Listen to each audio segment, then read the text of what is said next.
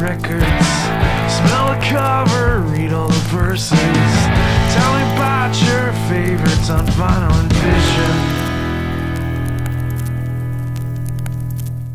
Hello, and thank you for tuning in to Vinyl and Vision. Uh, this is the video edition of uh, the show where I speak with Weasel Walter this evening for episode 45. Weasel's a, a, an incredibly talented and amazing uh, musician, producer.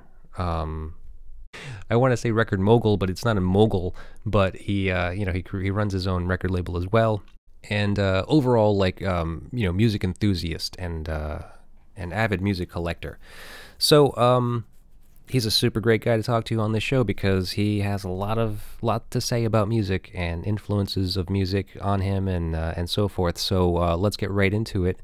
Um, so uh, you know we can't use the music here on YouTube, so it is what it is. Uh, it's just the conversation, and it's chopped down quite a bit. So if you want to hear the whole conversation, by all means, check out our audio stream uh, wherever it is that you get your your podcasts. You know. Um, and you can hear everything, the whole conversation in its entirety. Uh, where this is more of like a highlight reel. You know, this is just for for the short attention span.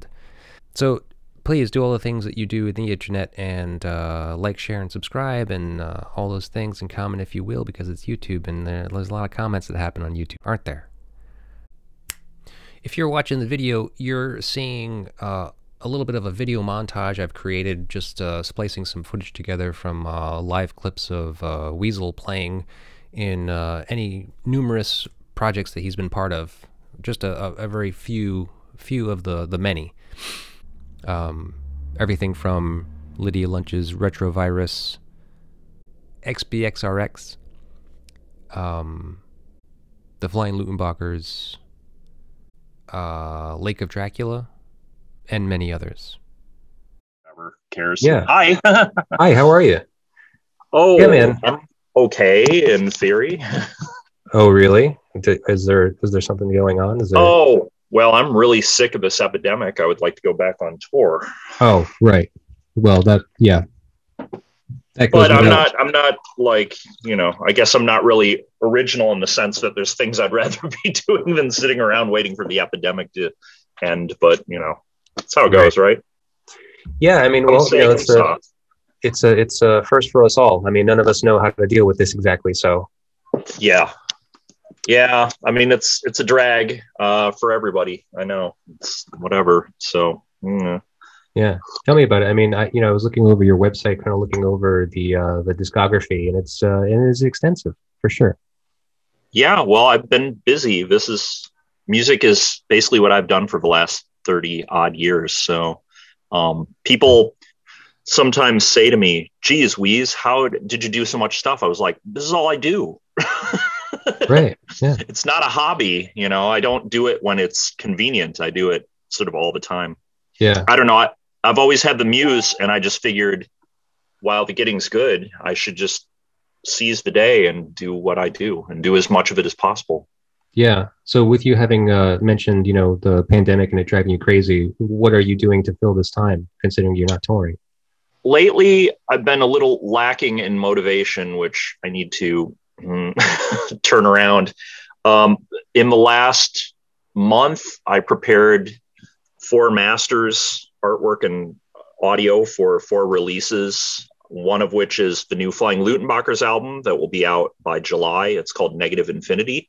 I personally think it might be the best Flying Luttenbachers album. People can argue with me about that and have their own opinion, but in in terms of uh, my own goals, I think it's the best album the band's ever made Yeah. and I don't necessarily tend to think each album is the best one I've ever made.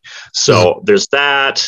Um, there's a reissue of an old Luttenbachers album called Cataclysm from 2006, and that is now a double vinyl LP with a live DVD of the band playing a complete concert with multi-cam video and multi-track audio. So that's I've been sitting on that for more than 15 years, and that thing is finally getting released. Um, and then a couple of free jazz things on my label. So I, uh, you know, it's, you know, uh, this summer by this summer I'll have four new releases that I'm really proud of, and that was kind of like what I did this month.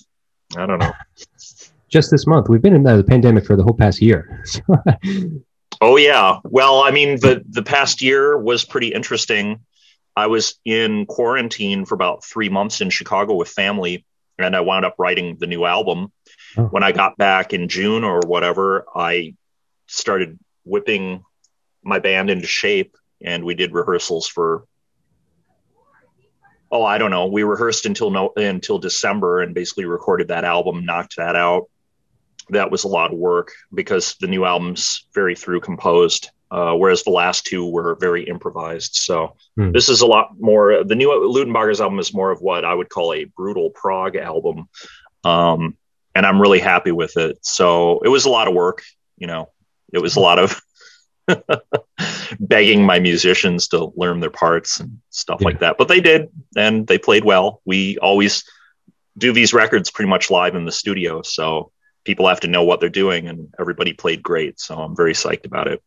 So, well, let's get right into it because um, I was very, I was very interested in talking with you. I know that you know, uh, I think everyone that will be listening to this probably already knows very much about at least something of you, probably a number of projects that you have been part of because there have been so many. Um, it seems that you got in, you got into music early. I guess I did. I was really into comic books and drawing when I was a kid. I, I aspired to be a sort of Jack Kirby type comic book artist, but mm-hmm when I got bit by the music bug, I would say nine, ten years old, I really started getting more and more interested in music. I did drawing on the side, and eventually, by the, my teen years, music had eclipsed everything, and I was dead set on becoming a musician. So, yeah, I would say it was early, but I would also say that I wasn't. I'm mostly self-taught. I would not consider myself a prodigy in the slightest. In fact, my skills were extremely crude when I was young because I didn't have a lot of instruction. And people who heard my early music thought I was about as talentless as it came and that I would never accomplish anything. So I'm sort of a result of sheer force of will and trying to learn and get better. And, you know, I'm, I'm a bit self made in a lot of regards. Okay. Well, uh, so with that being said, when was the first, like, how old were you when you started your first band and when was your first recording? I started messing around playing bass, which was kind of my first instrument. Okay. Uh, and I did have a few years of lessons so I could understand the basics of music theory.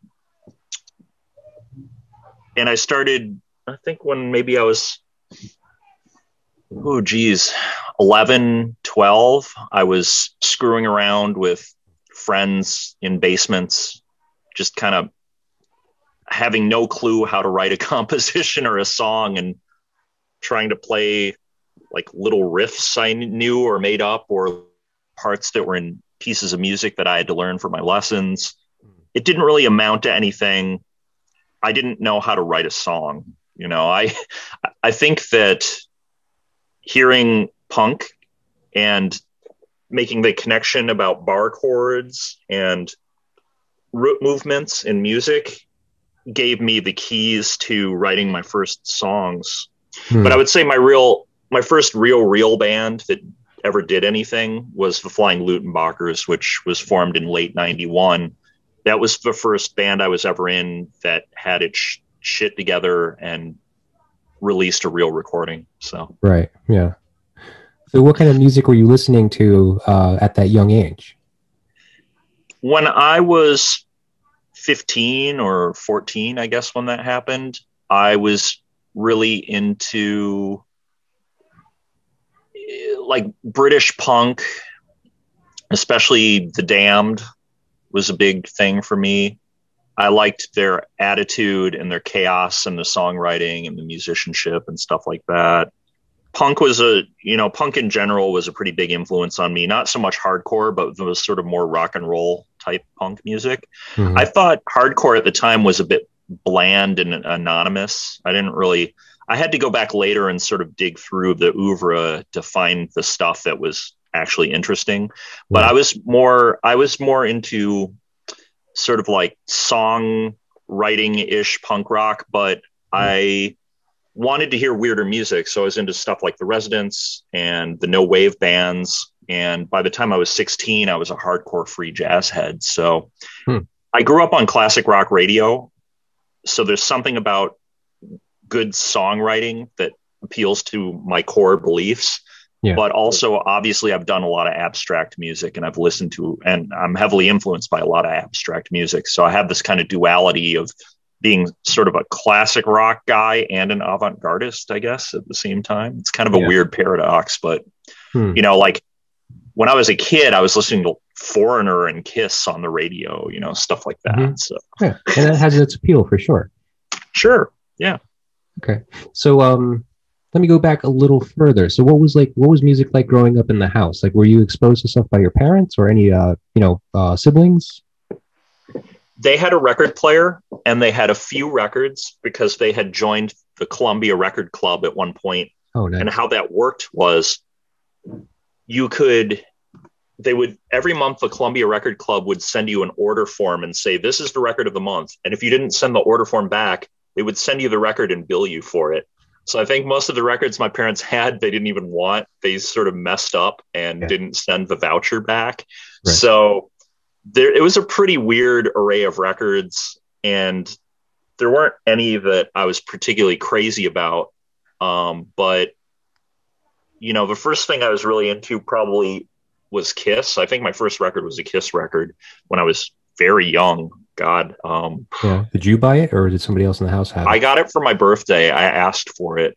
I must have been, oh, God, it must have been like 1978 or something like that. I mean, it was really young. And my parent, it was called Hotter Than Hell. And my parents took one look at that record and were just like, "What the? What is this?" Yeah. They had heard of Kiss, but it was a rather lascivious album cover with naked babes on it, and it had the word H E double hockey stick on it. So I think my parents were a little kind of like, "Huh?" But it only got worse from there. So right. you know, Yeah, I can imagine. the, the minute the minute rock and roll entered the house, the profane uh, obscenity began and only ramped up more and more as time went. So Right. I mean, I had a few records when I was a real kiddie, you know, like Kiss records. I had a few Split Enz records and uh, stuff like that, some singles. But I turned into a pretty hardcore record collector by the time I was 13, 14 years old. And I was buying a lot of cutouts. I was buying a lot of weird records out of the budget bin for a dollar and a lot of used records because I was reading a lot of books about stuff, especially weird bands and punk bands. And I would just go through, read, and I was just very, I wouldn't say I was OCD, but I was very, um, I was like a sponge and, and I would just suck up all the information about the personnel and the records and stuff. I would just seek the stuff out and it became an obsession of mine. So Hmm. my parents aren't particularly musical. In fact, I would say they're not. Yeah. But they appreciate music for what it's worth, but they're not fans. They're not, they don't really pursue music. They're like a lot of people where music is just part of the paradigm. It's, it's around, you hear it, you know, like, Right. I mean, so how do they feel about it now? I mean, what do, what is it? What do they look back at this? Uh, how do they look back at this now? I think uh, um, I think they respect me.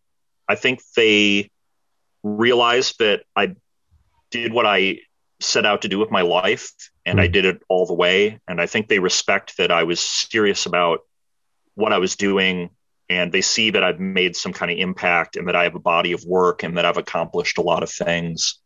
Uh, I didn't pick an easy path in life, clearly, so I'm sure that concerns them a lot. Right. concerns me. so, you know, like there's that factor. But um, you know, my parents are good people. They're real working class people. They're not arty. They're not avant-garde in the slightest. I was definitely the freak of the family. I'll put it that Mhm. way. Yeah. No, I, I mean, I completely understand that, and I can see that. I mean, I'm not saying that judgmentally. I'm just saying that I can understand what that must be like. I would say I'm weirder than they want to know about. Yeah. Right. I would say they're they're they haven't. I don't think they try to dig real hard. You're, you're um, weirder to than they find ever hoped for.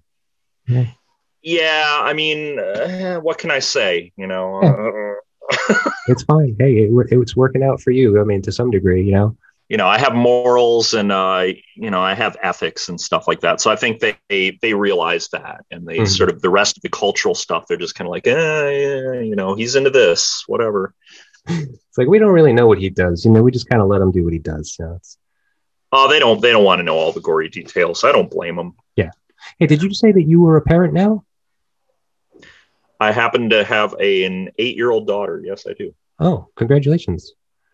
Yeah, well, she will avenge me. She's a real whippersnapper. She is her father's daughter in Really? many, many ways. Uh, Oh, she's okay. pretty extreme. She definitely got a lot of things from her dad vis-a-vis the genes. So we'll we'll see what Hmm. she does to the, the world. yeah, I bet, right? That's kind of exciting. Exciting and frightening. Yeah, you know the process is somewhat painful, but that's how it goes. It's like you Yeah. know, life, right? Right. Yeah, no, it's a motherfucker. I actually have a couple more questions for you before we get into the album that you chose. Um, Basically, uh, I'd really love to understand or know uh, about your relationship with vinyl records and uh, and uh, how important it is to you to press records as an artist. My relationship to records is that I grew up listening to them mainly because they were the cheapest format to At get the them. Yeah, at the time, because cassettes when they came out, I think they were they cost more than LPs for some reason. Yeah. And you know, there was a, a fetishistic aspect, obviously, to having a pile of records. I mean, duh, that's what record collecting is all about. Uh, as time went on, when when compact discs came out, they were more expensive than records, also. And I was just like, yeah, who needs this crap? You know, records are fine. Hmm. But then once the tables turned, I, in some ways, as far as fidelity goes, I'd rather have compact discs or digital music. I don't. Uh, this whole concept that vinyl is somehow superior is a very incorrect blanket statement. Some Mhm. records do sound better than digital, and some digital sounds better than records. It kind of depends on the production and the quality involved. Uh, it isn't. A, there's no truisms there. So, Hmm. uh, I have, you know, I still have a record collection because I bought a ton of records and I maybe have half of what I ever had because I've sold a lot of records so I, I could eat and pay my rent. Right. But there's sort of there's some sentimental value to having LPs, so I, I still have them and I, I listen to them. In fact, I'm in a project where I'm listening to all my rock records in in um, alphabetical order by artist right now, and I'm in the R's. I'm listening to the Residents right now. Nice. So I, I'm literally like cycling through my record collection one by one just to make sure I'm hitting all the bases. Yeah. Um, as far as making records, it's all fine and dandy. There's some demand for them. Uh, some of my music, frankly, isn't popular enough to warrant being on vinyl because Mhm. you know a lot of my avant-garde stuff has a pretty limited audience, and I am a poor person, so I can't really lose money making music. Hmm. I have to, I have to like make a profit or break even, which is funny because, as you know, my music's not commercial at all, but there is enough of a fan base, you know, that I can get by, and that's cool. So, as far as something like the Flying Luttenbachers, there is a demand for vinyl, and it's strong enough to warrant pressing the records. So, I'm happy to make them. But in a way, I see the digital version as the definitive version as far as the audio goes. Okay. Records to me, eh, you know, when I put them next to digital masters, I often like the digital masters a lot more, to be frank. Okay. So it's more of a collector's thing, the the vinyl records, and and you don't really care to be a collector at this point. Not really. I would say per year, I buy maybe six LPs total.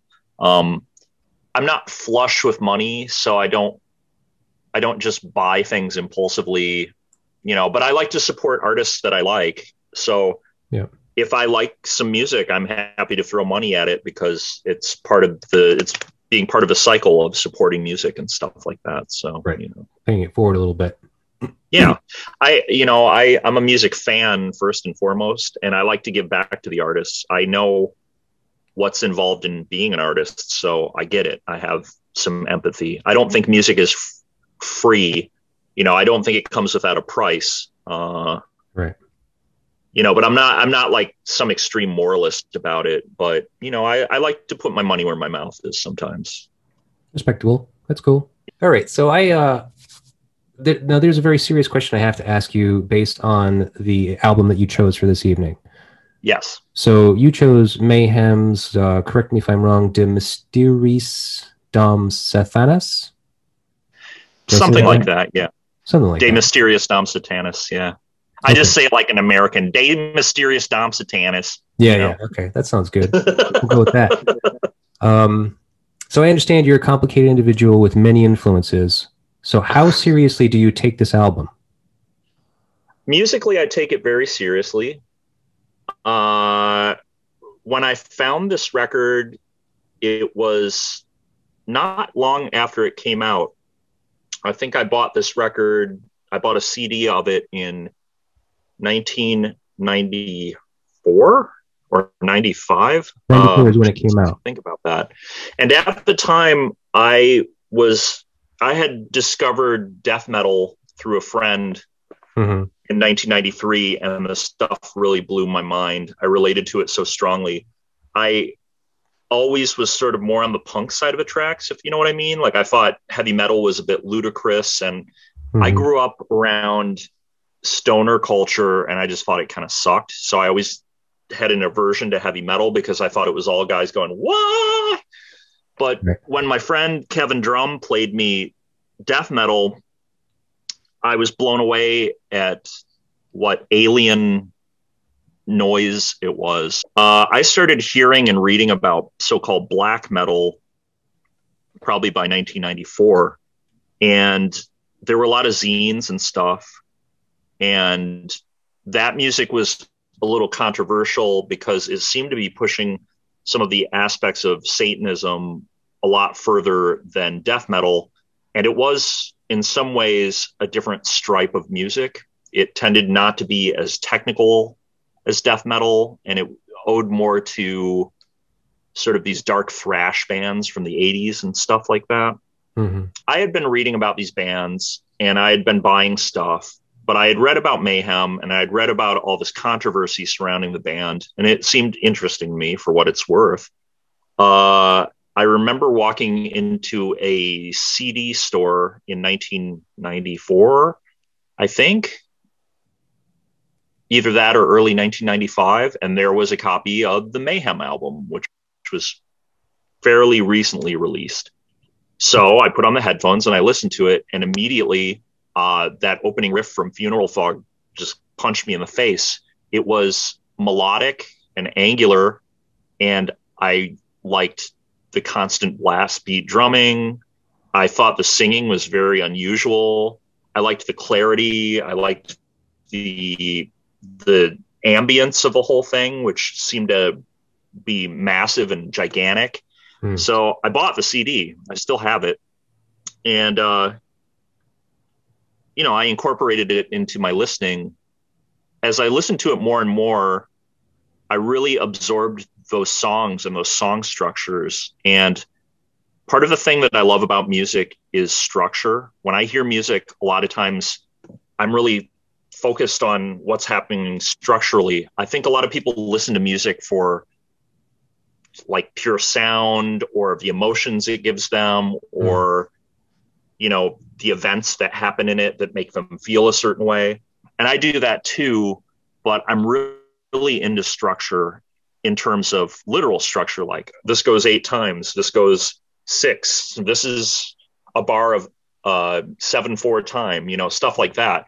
Because Hmm. i'm a composer and, and i think that way all the time. So i really started learning these songs because i think they're very catchy and they have a, kind of dissonance and angularity in terms of the chord progressions that i like that i relate to really strongly because i always liked dissonance and noise and a lot of tension in music so i just found the music of this album to be extremely dramatic and powerful and relentless and unusual and iconoclastic. And Hmm. as time went on, you know, I mean, it's been more than 25 years at this point. I've been listening to this album. It just, I'm so familiar with it and I love every aspect of it so much. I'm still listening to it. You know, I've probably paid for it a few times. I did eventually buy an LP of it when there was a reissue that I found suitable, suitably priced. Right. Um, you know, I still listen to that thing pretty frequently, and it makes me feel good, and it makes me happy, and it makes me. It reminds me of the power of music and why I play it and why I mm-hmm. listen to it, and it's it fulfills my rock and roll roots, and it also kind of touches my avant-garde side, hmm. okay. and I don't know where do you want to go with this? well, I just, I was just curious because I mean, like, so I, I am not a, a, metal fan really at all. I mean, like, I've listened mm-hmm. to some metal over my over the course of my life, um, but I've never really been drawn to it. So, yeah. uh, and now you even gave me the yeah. opportunity to, to to back out of this one, which I said no. I, I appreciate. Yes, I, respect, I did. Yeah, I respect your your knee jerk reaction to have shot this one out first. And I was just like, okay, there's that means something. I think that that you know really tells something about the the the strength of the influence it had on you. So, I mean, so for me personally, I I, I never I don't I don't understand it. I don't understand uh, black metal music. I re- like you know the musicality of it. I understand, and so you know you said that you said much you know, something similar to the same, and uh, yeah. I agree. I agree with you completely. I mean, listening like deeply listening to the music without considering the context of the vocals or even the sure. image of the band. Um, yeah, yeah, there's some interesting stuff going on there for sure. Um, but then you when you when you you know sheet that with all of the other things, the the context of the the the you know the uh, costuming of the band, the the death like you know morbid uh, face painting, the uh, even the attitude these people have to obviously you know seemingly like honestly believe in Satan. You know, they, they want to wreak havoc, they want to cause just uh, chaos, and they promote evil. You know, and like I, I don't relate to that. you know? yeah, well, I have to say that is the least interesting part of it to me at this point. Um, yeah. The controversy around the band Mayhem, particularly around the time when this album was made, which resulted in the burning of churches and the murder of the guitar player by the bass player, uh, which was no laughing matter ultimately. Mm-hmm. Um, that is part of the myth of the album. I have to say, when I listen to it, I'm not concerned with those aspects of it, and I really take it on a musical level. Mm-hmm. Uh, you know, I'm not a kid, so that kind of like edgy stuff doesn't really doesn't really do it for me, right. uh, especially at this point. So there is that whole thing. I do want to say one thing about the vocals because you brought up the vocals. Now, people who don't like or get death metal, and black metal is a kind of death metal, not vice versa. Like I would consider black metal to be a subgenre of the big thing called death metal.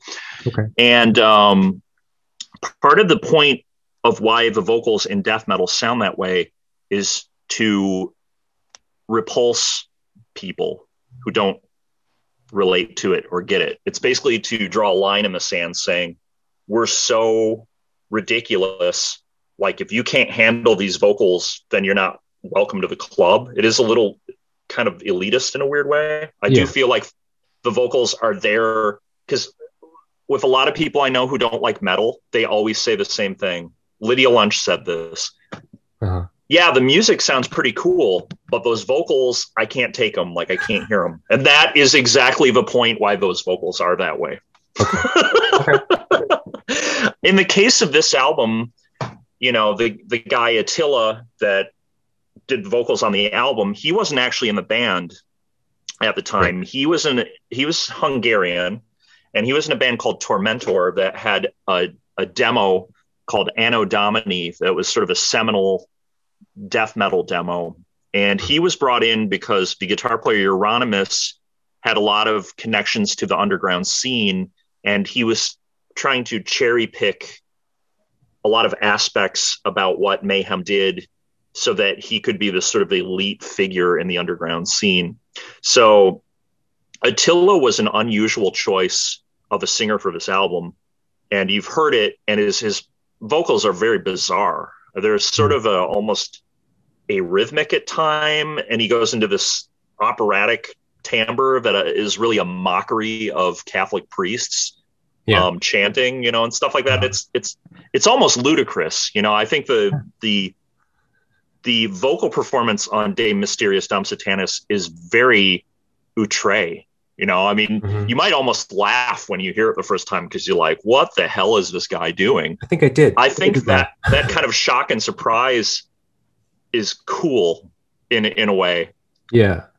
It's probably an acquired taste Mhm. because it almost seems maybe I'm sure to some people it seems like a joke. You know, like how why is this, this is like ridiculous? Like why is this guy doing this? Right. I'm okay with that. You know, uh, I have my own reasons for liking music that may not match up with anyone else's reasons, and that's just how it goes. Mhm. Uh, I can't imagine any other singer singing on that album. Uh, to me, it is the music is so tightly regimented and non like everything fits on a grid in that album. Like everything is very tight and it, it fits in in a certain way. And what i like about attila's vocals on the album is it's almost like the free jazz element on top. It's almost like a soloist because it's the one thing that's not locked into the grid and Hmm. i think that contrast of the tightness of the band and the rigidity of the band structurally and then having this really crazy vocalist on top is it's a perfect combination Yeah. Okay.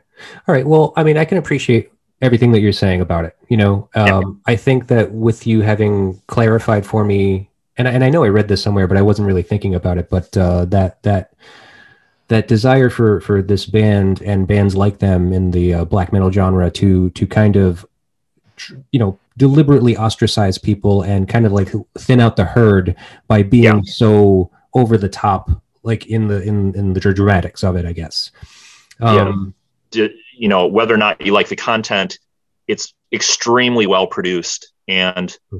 that's not with the black metal genre that's not necessarily that hasn't necessarily been a thing. There was a whole lo-fi ethos with black metal coming from certain sides of the genre.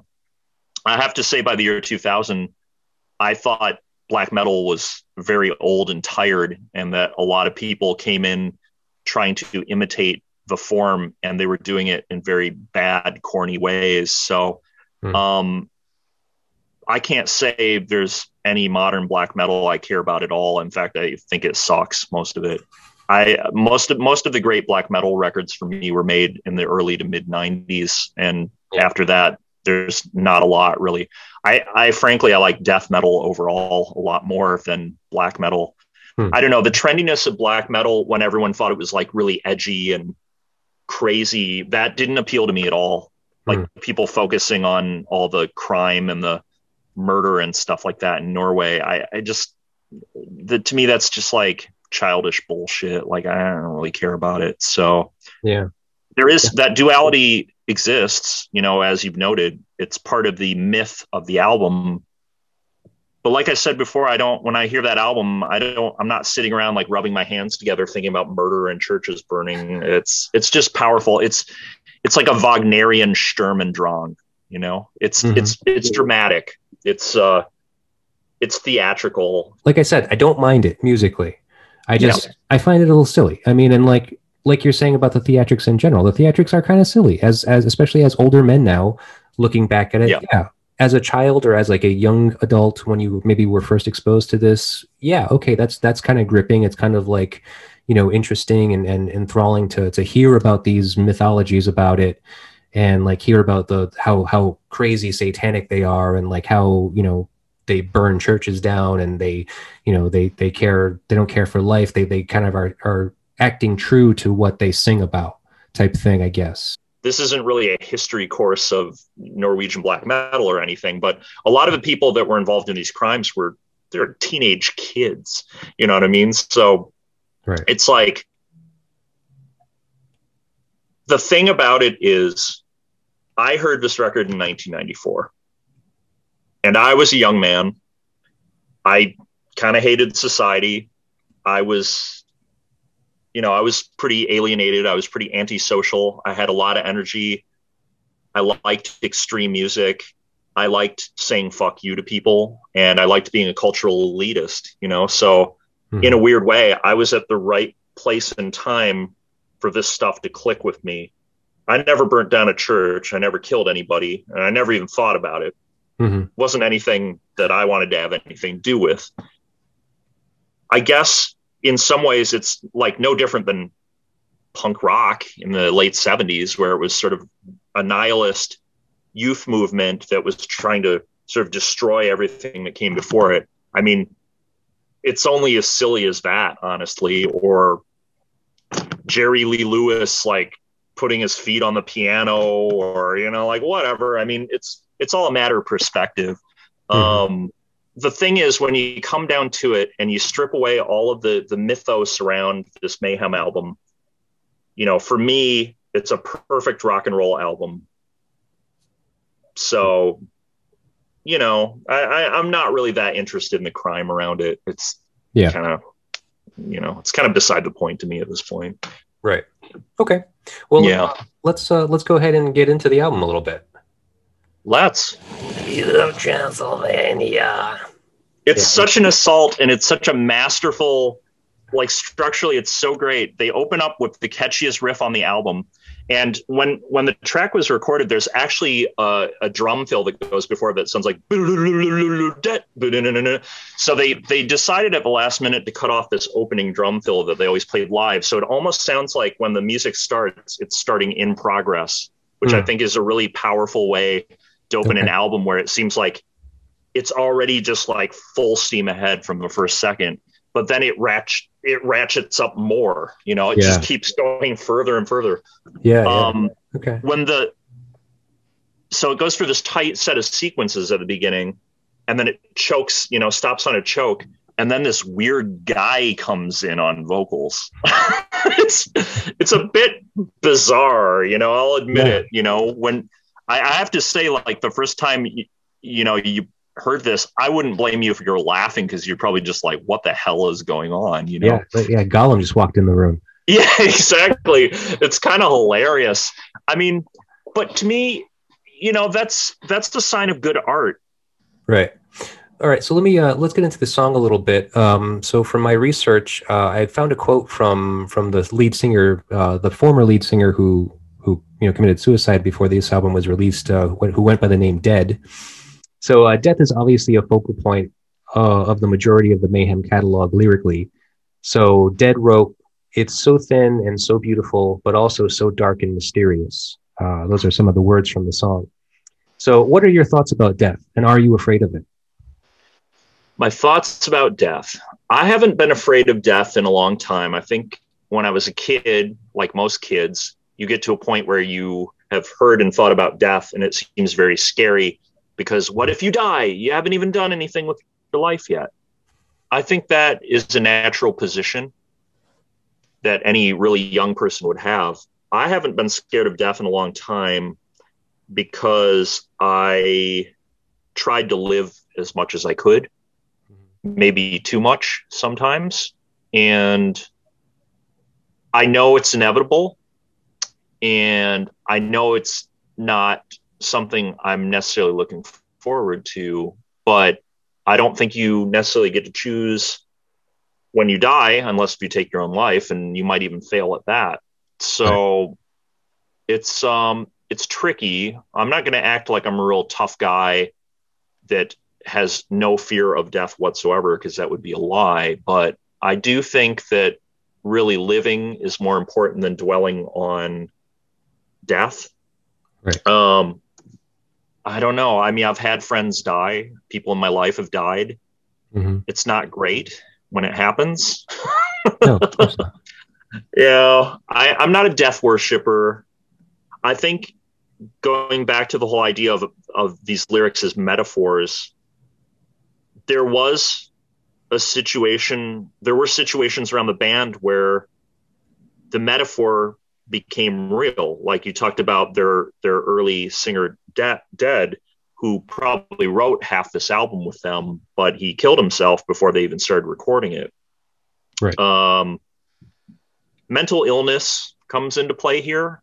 Oh, you yeah. know, I think, and mental illness is a serious thing, and I think a lot of mental illness is not addressed in people, and this is a crisis of civilization. You know, uh, Right. Especially in America, a lot of people who are mentally ill, they have not much recourse for therapy or, mm, you know, uh, medical help. So you have a lot of crazy fucking people in America and apparently in Norway at that point you had a lot too. Yeah, I don't think I don't think some of these people were in their right mind. I think they were mentally ill, and I don't I don't uh, salute them for having mental illness and acting on it. Right. Um, Right. Well, that's that's that thing that's good there. I want to move on to the next song, yeah, which is uh, "Freezing Moon." please do. I do like that riff. I gotta say that doon doon doon and that kind of slide down. Yeah, that kind of sliding guitar business is sort of a distinctive part of the playing on the whole album. It's uh Hmm. it's sleazy or something. I mean, Mayhem's a rock and roll band. Let we lest we not forget. You know, they're they're Yeah. they're kind of a classic rock band in a weird way. I mean, that Yeah. these guys grew up listening to heavy metal. They're into Motorhead and stuff Black like that. Yeah. Yeah, exactly. You know, Celtic Frost, So- was another band. yeah. Well, Celtic Frost, yeah. You know, ultimately, Mayhem is a rock and roll band. You know, obviously, it's very repetitive, the selection you played. Mhm. And I think that the repetition in their music is ritualistic or ceremonial when they use it because Freezing Moon has all these series of tempo changes. We didn't even get to the sort of part where it kicks into the main song. Right. I think it's almost like the beginning part is a processional, and then it kicks in, and then the blast beats start again. And I have to say, I love the drums. Uh, the dr- drumming on this album is just perfect to me. Hellhammer, he he got more and more technical as the bands uh, progressed to the point where it's almost ridiculous. But Mhm. I feel like on this album, it's just such great rock drumming. Everything about it is it's so showy and perfect, and you know, m- it, it's like it's he's like a machine gun on this album. There's just something so great about how the drums are recorded. They sound Yeah. so warm and big, and So uh, I was looking for a quote um, about uh, the recording of the drums, specifically Mhm. because I know that you are a drummer as well, and I, and obviously you you like the way that this was recorded. So um, Yeah. I found a piece from a Rolling Stone article that, the, that was written on them. Let me see if I can find the right part. Uh, so in the sessions that span 92 through 93, the band consisting of Euronymous, Vic, Vikernes, and Hellhammer converged on Grieg Grieg Hall. Is that how you pronounce that? Grieg Holland, yeah. Grieg Hall, home to uh, Bergen, Norway's Philharmonic Orchestra to record. The studio was located a few floors up in the building, but it had a low ceiling, and Hellhammer thought it, it muted his sound. Then he went into the main hall where a five piece drum kit was set up and loved the sound there. I says, this is a quote, I says to engineer Pytten, I want my drums down there, says Hellhammer, who recalls being a big jazz fan at the time, inspired by Buddy Rich. And he goes, Ha, you're crazy. Yes, I am. And then he understood. We took the cable for the microphones and ran them down the elevator shaft. They set up some candles down there and dimmed the lights, and subsequently, De Mysteriis Dom Sathanas had one of the most powerful drum sounds in metal. There you go. I would say so. Yeah, no, it's great. Uh, I do like the drums in this on this record. Um, you know, that's definitely something that stood out to me. So, Freezing Moon. You know, I have a question about I have to say before we move on, Sure. there are there are instrumental rough mixes of this album. Just saying. Oh, really? I don't think I could afford. Oh yeah, they exist. yeah, I can hook you up, bro. Oh, really? You can put your own. You can do karaoke, mayhem karaoke on top. Oh, wow. That would be a challenge. we can try that. After everything opens I would do up, that. there's the boombox downtown in Providence, Rhode Island. yeah, I'll do my best Gollum impression that I can. My precious, excellent. my ring. I didn't. I didn't get that looking through the lyrics. As a matter of fact, looking through the lyrics for me, uh, it made me wonder if this song was about a werewolf. hey, maybe You know- maybe more metaphors. Yeah, yeah. Let me see. Where are some some samples of lyrics? Uh, it's night again, night you beautiful. I I please my hunger on living humans. Night of hunger, follow its call, follow the freezing moon. That's one one verse. It's got a strong Halloween vibe. For but the sure. whole album does. Well, yeah, for sure. I mean, this is definitely a Halloween album. All right. Well, so that's pretty much all I've got for Freezing Moon. Let's move on to uh, Cursed in Eternity. Oh yeah. That was good. That was a good drum break. Feel like making uh yeah. That was a good drum that was a good drum break. It was. You know, I have to say something. I I wonder with blast beat drumming, Mhm. you know, when I first started listening to this music, the beat would kind of flip flop and I would hear the snare as the downbeat. You know, it's because it's sort of like it's sort of these alternating between the kick and the snare. And Uh-huh. if you're not used to where the one of the beat is, it's almost like it flips over and the syncopation becomes the downbeat. And I think that's a confusing thing, maybe for people who aren't used to this music. They don't hear the downbeat and it can be just even more disorienting, or maybe Hmm. that's even more of like the code of the music Yeah. where it's it's almost like you have to have experience listening to the music to really hear it or something like that i guess Yeah, that sounds about right. I mean, I can I can see what you're Yeah. talking about. I mean, I haven't given this enough of a listen uh, to know for sure or to be able to speak to that really. Yeah. But I can see what you mean. i i went to two shows on the on the De Mysteriis Dom Sathanas tour i guess it was a few years ago Where were these shows happening? let's see i saw them in chicago and new york Oh, okay. And like, what kind of venues were these? They were the new york one was at st vitus which is a pretty small rock bar and it was sold out and i think maybe the capacity must have been 200 250 or something. So people were really crammed in there. Oh, and i was right in front. I don't mess around. I'm like i'm not there to like vibe on the rest of the audience. I don't like people so i don't want to be in a room full of people. Like so i'm trying to like exclude them from my from my enjoyment of the music by being like close to the front Yeah.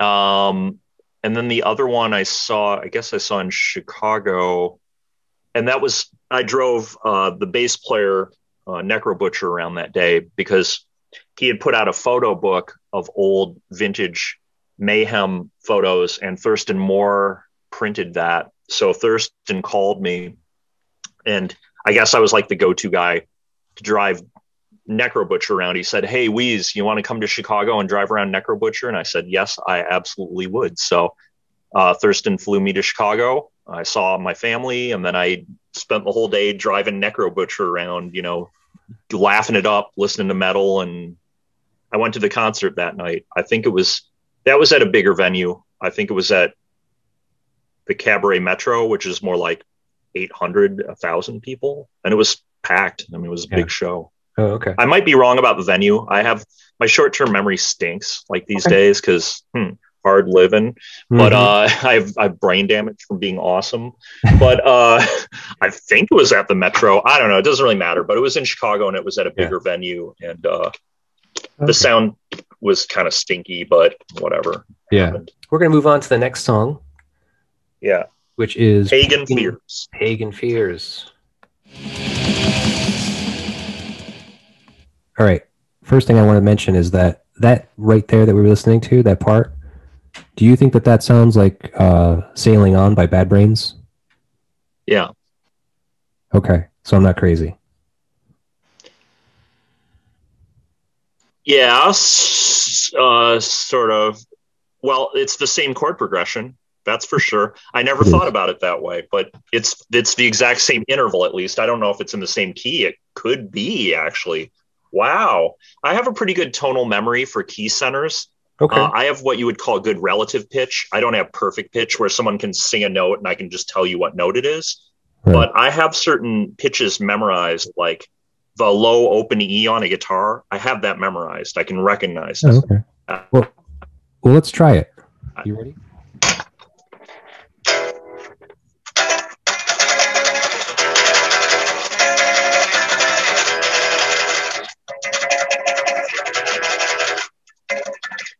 We don't want it anymore.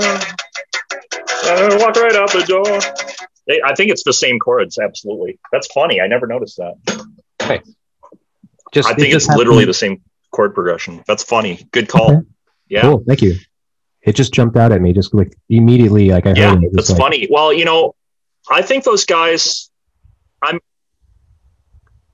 Yeah, you know, a lot of the chord progressions and the mayhem stuff on this album are very elemental. They're they're almost things that have been used a million times, recontextualized in this powerful way. It's almost like maybe that's why it's so um it hits me so hard is because a lot of the chord progressions are not they're things you have kind of heard a million times. Maybe Mhm. like I don't know. There's like a familiarity to it that's there the first time you hear it or something. I mean, it's ingenious. It's like it's very simple music in a lot of ways. Very complex Yeah. things about it, like the drumming and maybe some of the structure. But I think the idea was to make a lot of riff, a lot of the riffs really memorable by making them very simple and have this very specific kind of uh, gravity to them. Yeah. So, some things are just undeniable. Like you, sometimes using the simplest thing does make sense, but then it's what you do around it that makes it not just another, you know, punk chord progression you've heard a million times. And I think that's the key to music in general. A Okay. mix of the familiar with uh, new con- contexts or whatever. So, uh, based on the song and Yeah. uh, some of this information that I've shared with you, um, what do you hope will be the long term significance of your body of work? Mine? Oh, um, I'm not counting on it. and I think at one point, I think I desired that my music and art would make some kind of concrete impact. And now I know that there's a lot of art and it affects those who like it or appreciate it or who come in contact with it and are affected by it. Mhm. The artist doesn't necessarily know how anyone is affected by their art. Um, sometimes they show up and they clap for it. Other times you you have no clue who's experiencing your art and what they think about it and how it impacts you. So I let go of that a long time ago. Um, I don't necessarily get that much feedback from my art a lot of the time. And uh, if I did it for that feedback, I would have probably quit a long time ago. right. Well, a lot I, of times I, make stuff. Yeah, a lot of times I just make stuff. I put it out there and kind of shrug my shoulders and move on to the next thing. You know. Right. Well, I mean, I was I've only asked the question based on like how much of a discography I know that you already have. I mean, it's it's pretty Yeah. pretty astounding, really, for for a person that, of your age to have that much work behind them is is staggering, really. So, um, Well, thanks. yeah, no, I mean, like, and and I I, know that see it. Go ahead. Oh, I just, I know that like I've heard you speak about it, and um, I know that you're very kind of like um, unapologetic about what you create and how you create it, and um, Yeah. you know you don't really care what people think about it. You're you're just making what you want to make, and you you're making it the best that you can. There must be some desire for it to kind of um, leave like a legacy of some sort. I know I try to avoid that word at this point, but Yeah. I think you know what I mean. I do. Well, I think you've touched on some pretty relevant points. Ultimately, I did it because, um, uh, you know, I ha- I have. I always thought there was right and wrong ways to do art and music, and it's so subjective. Uh, I always felt like if you don't like everyone else's music, you should make your own and make it exactly how you think it should be made. And that's all I really did. Hmm. Obviously, I love music. I have a lot of influences, and in some ways, I'm a bit eclectic. But all I did was just synthesize all my influences and everything I like and try to do my own version of it and be part of the continuum. So if I'm part of that, great. You know, like some people like my stuff. That's that's cool. Um, that doesn't make me complacent. You know, I feel like it's a gift to be able to do this in a weird way. Not everyone can do this, so I try to take advantage of that and really um, do the best I can with what resources I have and try to keep the bar really high Hmm. because I think it's a privilege that anyone would pay attention to my music because there's so much of it. You know, like I'm glad if someone thinks there's something about my music that makes it stand out enough that they want to check it out. You know, I don't want to disappoint most people. And I know that the only way not to disappoint them is to keep my own uh, cr- criticism of my music and my standards as high as it's always been. So, you know, Mm. that's that's my mission. Okay. Yeah. Very cool. Yeah. Yeah. Well, Yeah. so if people want to check out your music, uh, considering you have so much of it, and I am, I am, you know, honestly a novice to it as well. I mean, I've listened to some of the Flying Luttenbacher records. I've listened to some of the uh, XBRX, uh, XBXRX, XBXRX, yeah. XBXRX. Yep. That's a mouthful. oh Um, yes. and then of is. course obviously some of the retrovirus with lydia lunch um Yeah. where where would you say is the good is the best place to to start um i am interested in jazz Yeah. what uh what good like what kind of uh jazz should i get get into that you've put out Well, I mean, most of my stuff is definitely in the realm of so-called free jazz or free Yeah. improvisation.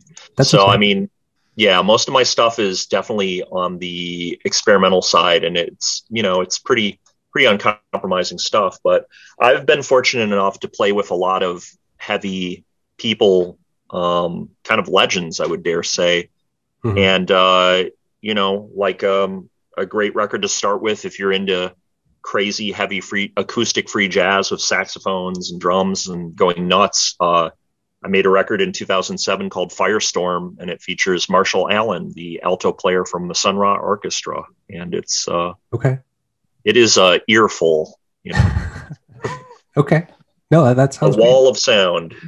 firestorm sure i will look into that then Excellent. i will run down to my local record store and see if they have it They don't. I will I check your guarantee website. it. Yeah. Well, Weasel, I'd just like to say uh, this was a very cool conversation, and I thank you for for taking the time and having it with me. Hope it wasn't too terrifying.